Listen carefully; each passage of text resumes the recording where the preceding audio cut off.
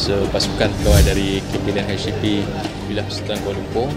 Terdiri daripada 9 orang pegawai telah membuat pemeriksaan di Pasaraya Jaya setempat.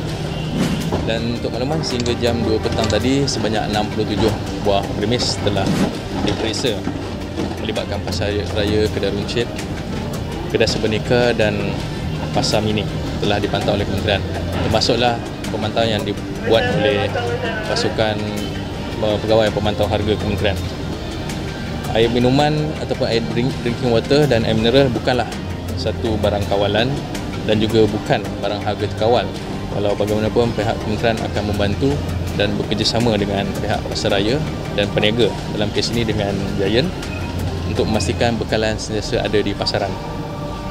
Peniaga juga diingatkan agar tidak mengambil kesempatan dengan menaikkan harga jualan bagi air minuman dan air mineral berikutan isu gangguan bekalan ini. Dan peniaga juga dinasihatkan untuk meletakkan tanda harga dengan jelas seperti mana yang diperuntukkan oleh undang-undang. Uh, saya juga ingin mengingatkan kepada pengguna supaya tidak membuat pemedan panik uh, susulan gangguan bekalan air ini.